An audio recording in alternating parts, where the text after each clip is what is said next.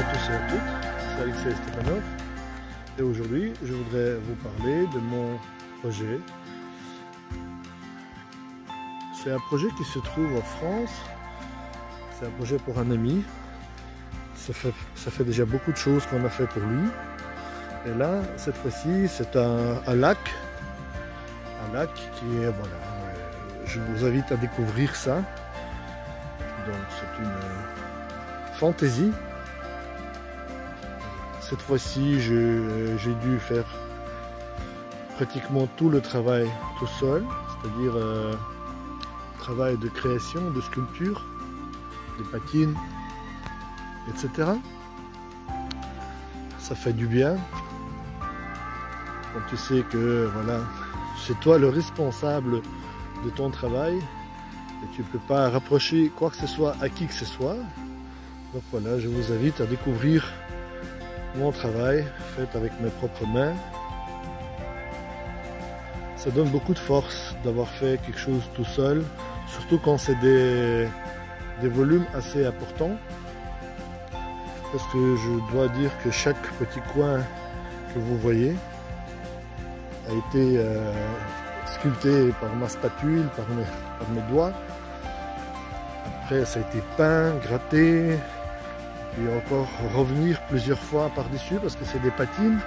Donc les patines, je travaille en plusieurs fois. J'ai essayé de répéter la nature. Hein, dans la nature, la patine se met au fil des années. Donc c'est des saletés, c'est la rouille, c'est beaucoup de choses à la fois. Donc c'est très difficile de retrouver tout ça en une fois.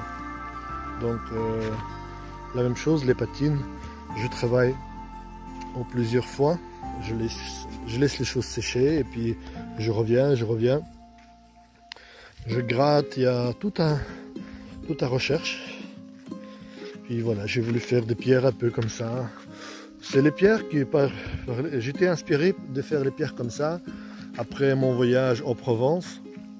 En Provence, euh, surtout quand vous arrivez vers euh, la région de Fréjus, vous en avez énormément des patines comme ça. C'est très rouillé.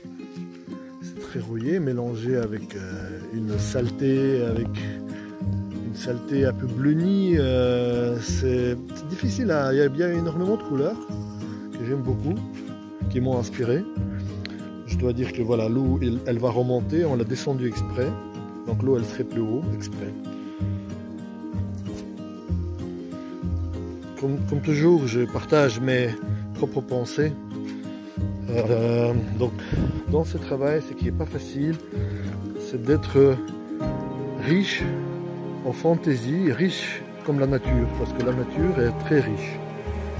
Euh, quand j'observe des vrais rochers, des vrais paysages, je n'arrête pas à être impressionné par euh, la nature, par à la fois simplicité et complexité, et à la fois créativité et de choses des fois un peu, je dirais même presque stupides, hein. mais euh, stupides dans le sens, euh, je, dirais encore une fois, simplicité. Donc euh, retrouver un, équilibre quand tu fais un mètre carré, ça va, mais quand tu dois faire beaucoup de mètres carrés, des centaines de mètres carrés, je vous assure que c'est pas facile du tout. Parce qu'on se rend compte qu'on est loin de, la nature. On est, c'est pas facile. De réfléchir comme la nature. La nature est beaucoup trop riche par rapport à notre imagination. Donc, euh, ça fatigue énormément au niveau de cerveau. Voilà. Et évidemment, on n'arrive jamais, jamais à reproduire la nature dans sa vraie, splendeur. On peut juste se rapprocher un tout petit peu. Enfin, il il y a bien sûr des maîtres qui arrivent à faire ça. Euh, j'en connais quelques-uns que j'aime beaucoup leur travail. Voilà, mais donc euh, je fais le maximum moi aussi, dans la mesure de possible. Mais voilà, c'est un travail passionnant. C'est vrai que c'est un travail passionnant. C'est un travail qui, qui vous remplit et puis c'est un travail qui fait du bien. Quand tout sera fini, quand on aura mis partout les arbres, je pense que ça peut être assez, euh, assez sympa. Maintenant, je dois dire quelques mots au niveau de la technique pour, euh, que, pour que ça se passe comme ça et que ça reste comme ça. J'utilise ma technique à moi. Elle a été créée au fil des années. Euh, c'est une technique, j'ai repris cette technique après une technique qui, existe déjà. Je travaille beaucoup avec, euh, à la base, c'est le ciment blanc, le ciment gris. Mais dans ce ciment-là, il y a des, rajouts. Et puis surtout, je connais cette matière, comment elle sèche, comment elle euh, vieillit, comment la peindre, comment euh, faire de tels ou tels effets.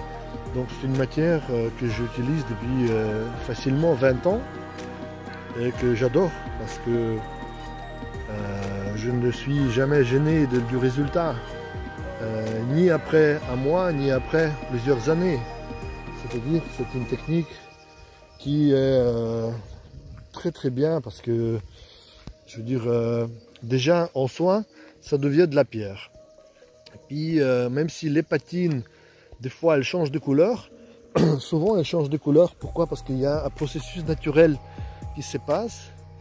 Et c'est-à-dire, ça veut dire qu'il y a, il y a des algues, il y a des, euh, c'est-à-dire il y a des choses qui viennent par-dessus, comme sur une vraie pierre, euh, puisqu'il y a les événements naturels, il y a le vent froid qui, euh, qui rend certaines pierres plus vertes. Et donc on est obligé de... je veux dire, est obligé d'accepter ça comme ça. C'est impossible de lutter contre cela.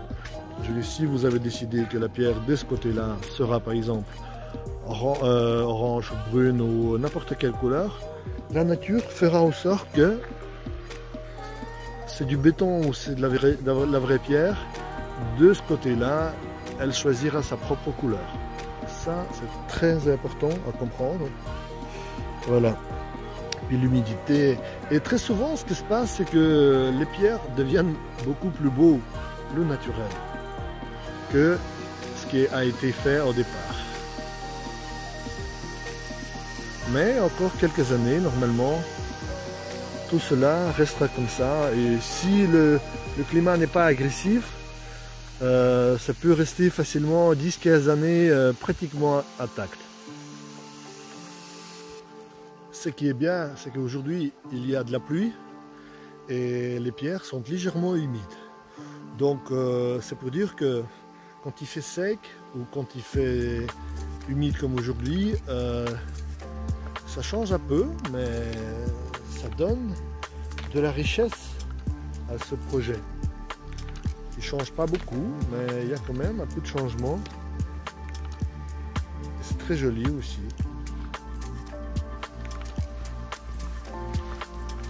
Là, je vais faire vite le tour.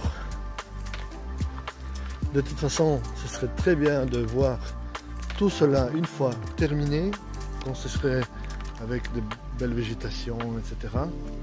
C'est vraiment intéressant. Mais chaque étape est intéressante en soi. Il a sa, propre charme. Quand c'est à moitié fini, quand c'est presque fini, et puis quand c'est totalement fini.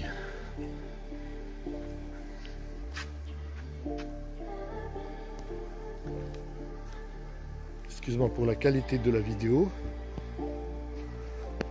Je ne suis pas professionnel de la vidéo. C'est. Mais bon, on n'a pas le choix. C'est déjà ça qu'on a des belles outils, on a des, appareils de photo qui permettent quand même de vous montrer euh, des choses.